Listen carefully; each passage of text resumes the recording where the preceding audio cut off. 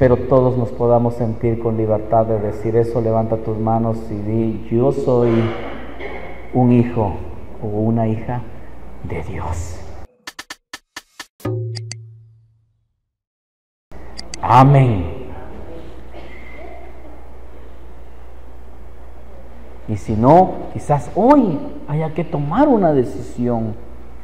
Siguiente, el que es hijo de Dios ama a su hermano. Nosotros sabemos que hemos pasado de muerte a vida en que amamos a los hermanos.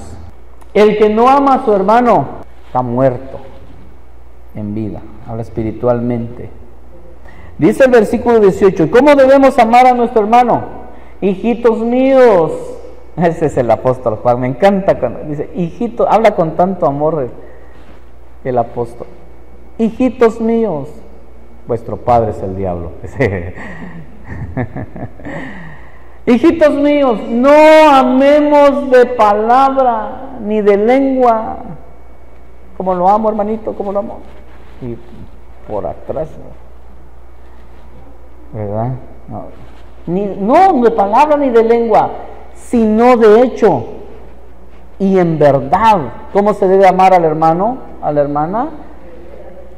De hecho, de verdad, de corazón. A ver, digan conmigo, obras.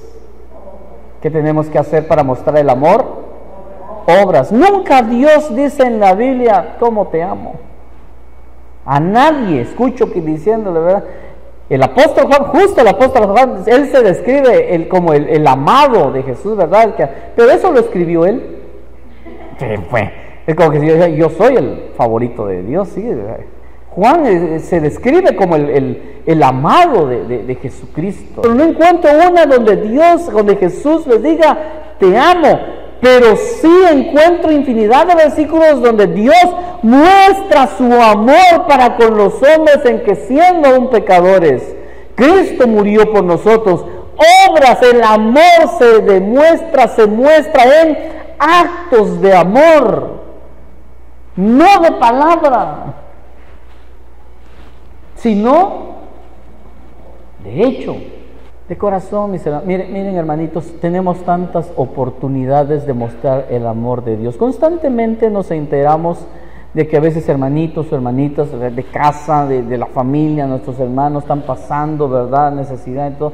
Una llamadita, un mensaje, la visita, el apoyo, de alguna manera siempre, eh, ahí se manifiesta el amor. Eh, lo que estamos haciendo por nuestra hermana Natita, manifiesta el amor. Cuando tú no te puedes interesar en una situación de este tipo, tú deberías pensar, ¿seré hijo de Dios o del diablo? De pronto más, más ayudas a los hijos del diablo que a tus hermanos en Cristo. Al bolo sí le tiras sus 20 pesos. Pero a la Natita no le quieres llevar un su juguito. Tal, tal vez es tu hermano aquel y no esta. Hello. La Biblia nos enseña que debemos mostrar amor y buenas obras, primeramente, dice el apóstol Pablo, a los de casa, a nuestros hermanos, a nuestras hermanas. Obras. Por último, ¿cómo sabemos que somos hijos de Dios?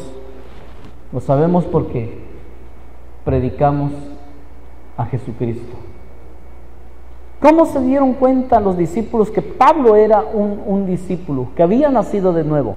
Enseguida, dice, predicaba a Cristo en las sinagogas diciendo que este era el Hijo de Dios. Y los discípulos cuando llegaban, Pablo se quería juntar con ellos y ellos decían, no, porque ese mata a los cristianos, es un asesino. ¿Cómo va a venir? Es un infiltrado, luego nos va a traicionar, nos va a matar. No así le hizo Judas, que era uno de esos. Ahora este, que ya sabemos que los mata a los cristianos, no es. Pero Pablo dice, mucho más esforzaba y predicaba que Jesús era el Cristo. Llegó el punto donde los discípulos lo aceptaron y se dieron cuenta, de verdad este hombre nació de nuevo. Lo apedrean por el amor de Cristo, lo latigan, lo encarcelan y soporta todo y todo lo tolera por amor al nombre de Jesús, tiene que, tuvo que haber nacido de nuevo. Yo me doy cuenta cuando alguien ha nacido de nuevo, por su testimonio hablado, porque no calla, porque predica, porque no titubea en decir, yo soy hijo de Dios, yo soy cristiano, camina con su Biblia en la mano y no teme ni se avergüenza del Evangelio, habla a sus compañeros en la escuela, en la universidad, en la preparatoria y no niega su fe y que es hijo de Dios.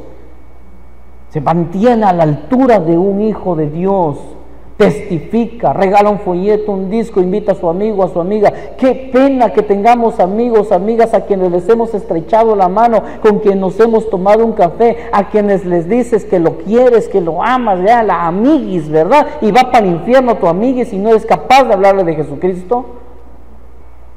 Yo evangelicé en una ocasión a una amiga y aceptó a Jesús con lágrimas en los ojos y su novio era un hermano de la iglesia donde yo congregaba y dijo que él no sabe esto.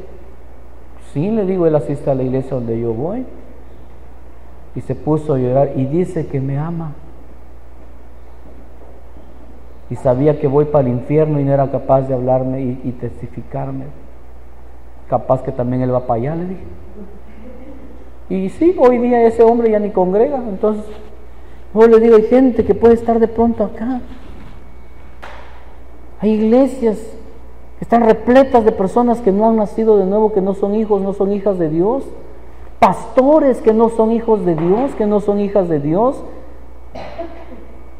No uno, varios eventos ya me ha tocado ver donde se hace un llamamiento y pastores pasan a recibir a Jesús como su Señor y Salvador. ¿Cómo está la iglesia entonces?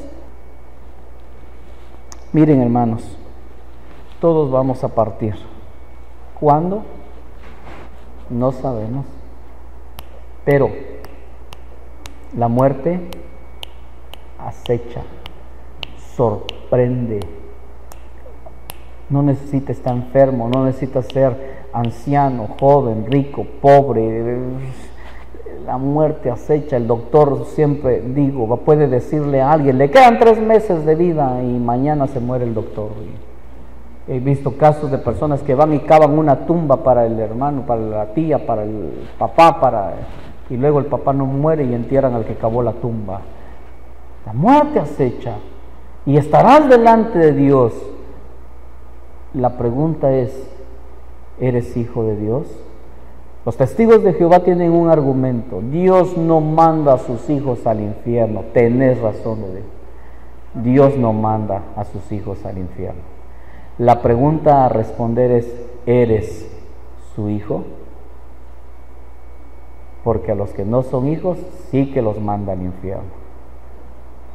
Estarán dos grupos aquel día y Dios dirá a cada uno, algunos escucharán, buen siervo y fiel, sobre poco fuiste fiel, sobre mucho te pondré, entra en la presencia de tu Señor. ¿Cuántos quieren escuchar eso? Pero otros escucharán, apártense de mí, malditos, no los conozco. Al fuego eterno reservado para el diablo y para sus ángeles. Anda ya con tu papá, lo que les va a decir. Uf, uf, uy.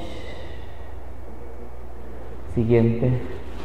El Espíritu Santo mismo dará testimonio a nuestro espíritu de que somos hijos de Dios, tu espíritu mismo, ese mismo Espíritu Santo en ti dará evidencia de que eres hijo de Dios, los frutos del Espíritu Santo. A ver, digan conmigo que se escuche, por favor. Los hijos se parecen a papá. Cada vez deberías estarte pareciendo más a Jesús y tener una conducta más como la de Jesús. Pero si tu conducta cada vez es más como la del diablo, uh, ¿Qué me importa si estás bautizado y te di un cartón con tu nombre? Tal vez no sos hijo de Dios. ¿Qué importa si estás aquí todo el día? Culto en la mañana, culto en la tarde. Y, es más si predicas, porque hay gente que predica eh, y, Dios no los conoce. El sello del Espíritu Santo, mis hermanos, cuando estés delante de Dios, Dios ni siquiera te hará, yo hago un diagnóstico aquí para significar que Dios te preguntará, pero Dios no te va a preguntar, Dios te conoce. Estarás delante de Él y dice, siguiente, que el Espíritu Santo estará en ti. En él también vosotros, habiendo oído la palabra de verdad del Evangelio de vuestra salvación y habiendo creído en él, fuiste sellado con el Espíritu Santo de la promesa. Entrarás a su presencia y Dios identificará su espíritu en tu espíritu y entonces escucharás, buen siervo y fiel. Entra a la presencia de tu Señor. Te reconocerá Suelo imaginar que estaré en la fila y habrán otros delante de mí. De pronto, a ver, ¿qué estás haciendo? Dijo, a ver, pase, pase, pase, pase. Te conozco. Me serviste toda tu vida. Reconocerá el sello en ti. Y otros adelante. ¡Eh! Yo vine primero hacer la fila. Sáquenlo también, échenlo para allá. Ni es. Ah. ¿En qué grupo estarás? Ponte de pie. Ponte de pie.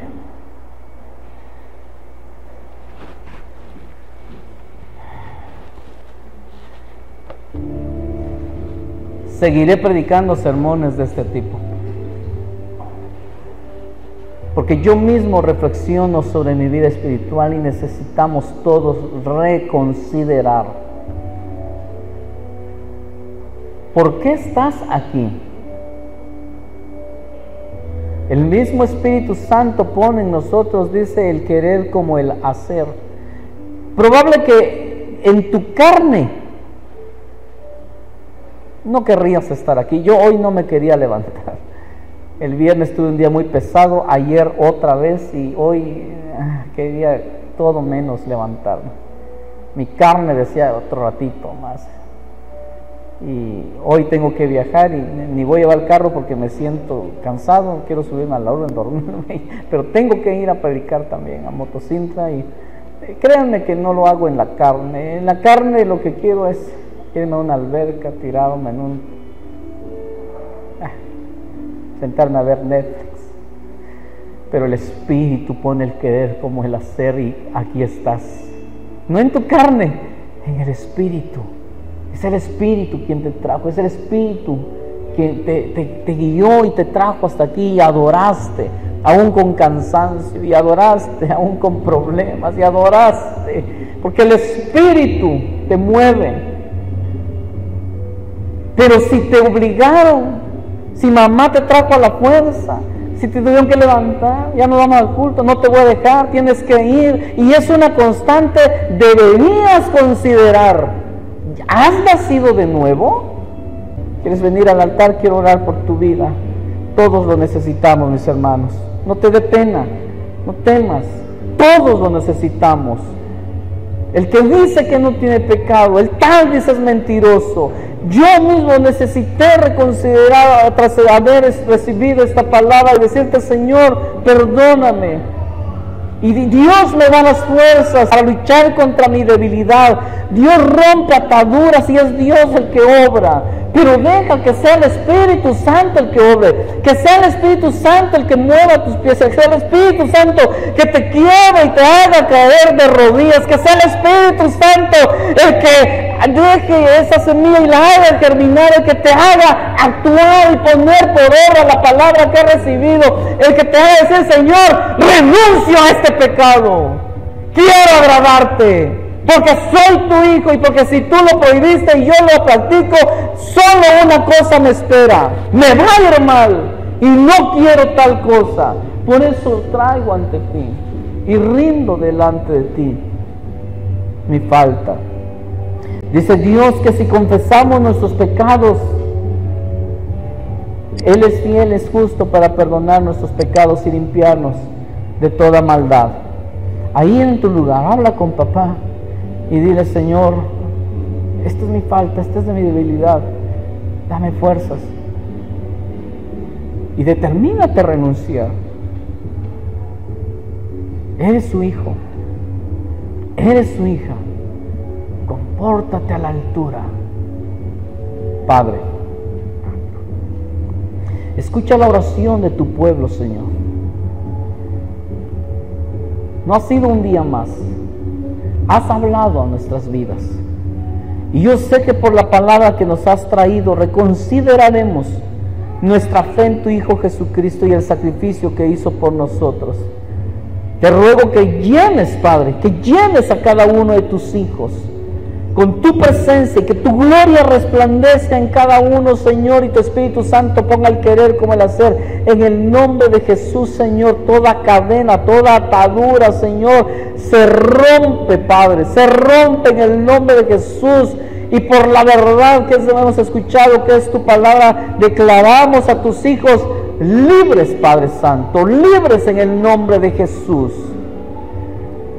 Tú estás ahora, Padre, obrando en cada corazón sincero, en cada corazón dispuesto y aquellos corazones que no estén tocados y no estén dispuestos, te ruego, sé tu Espíritu Santo haciendo la obra, Señor, y considerando su posición en Cristo Jesús.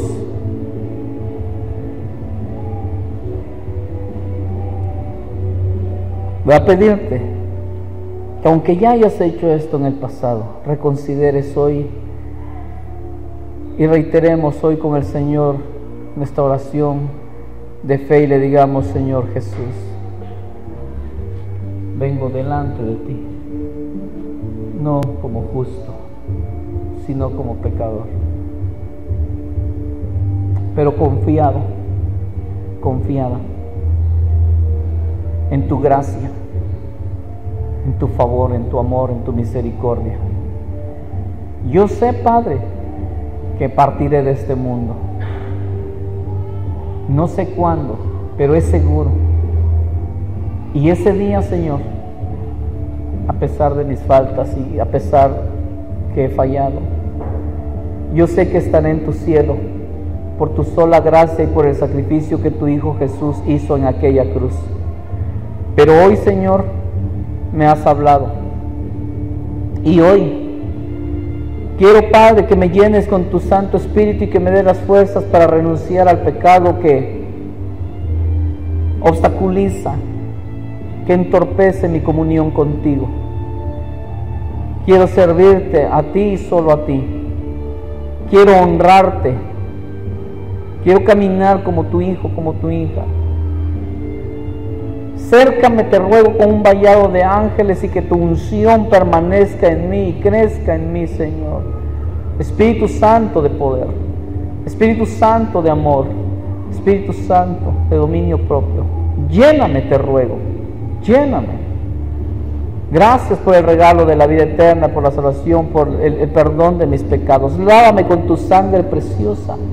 Dame vestidos blancos y limpios, resplandecientes y las fuerzas para honrarte cada día. Gracias, papá. Gracias en el nombre de Jesús. Gracias, Padre. Sigue orando, sigue orando. Bendigo tu pueblo, Señor. Bendigo tu iglesia. Ruego, Padre, para que cada uno, Señor, pueda poner por obra la palabra recibida y ponerse a cuentas contigo, Señor y romper con todo aquello que pueda entorpecer, ensuciar los vestidos limpios que nos has dado. Te alabo, te bendigo y te doy gracias en el nombre de Jesús, tu Hijo. Amén, amén y amén.